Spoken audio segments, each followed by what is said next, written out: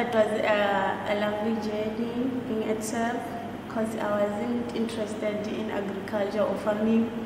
But once I got there, I was enjoying, like, I can even make my own garden now because like, I was motivated. Yeah, planting veggies, like everything. It was fun and selling them. Yeah, it was for profit. yeah. I had my own garden at home, so like I was selling chilies, spinach, like uh, lettuce. Yeah, most of the veggies well, I was selling them. I was just staying at home, doing nothing. But I, I like I was busy doing some distance learning. Yes, but I was doing nothing. Like there was no job, nothing, no income. Like it was boring. Like my life was boring. I don't wanna lie. Yeah. Uh, I did electrical engineering. Then I did safety. Before, no, No. I had no idea of planting. Like I had no idea of garden and farming stuff like that. I had no idea. Uh, we were trained how to make a garden. Like there are specific things that I need to do before. yes, like before planting, I need to check wind direction. Like I have to do some A-frame. Yes, stuff like that. yes. No, like it was a, a post advertised. Like um, we have these uh, leaders in our community. They were the ones who told us about this program. So like I had to apply, and then I did apply.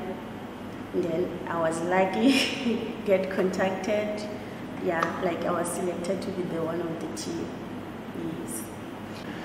I'm a lot of things. It's all about safety, safety in the workplace, like safety at home. Like, yeah, I'm learning, and it's very interesting. Like I was only learning it, like in the college, not knowing what's going on, what is expected of me to do. Like now I know what to do, what is expected of me to do right now. I know. Yes, I even know my responsibility here. Yes. If I if I, I wasn't part of the SEF program, I think I was going I was not going to be nominated here. Yes, because they know my my leaders. They also part of Sunsend. So yeah, I think that's the big opportunity and the reason why I'm here.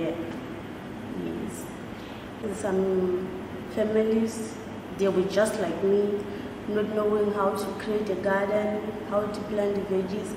Now they have a clue on how to make their own garden, how to maintain their own garden. Yeah, now they know.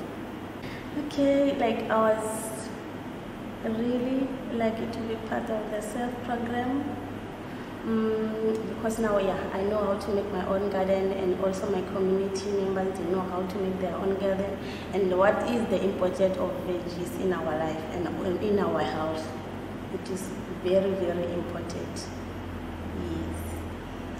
Uh, I, I see myself as a safety practitioner. Yes.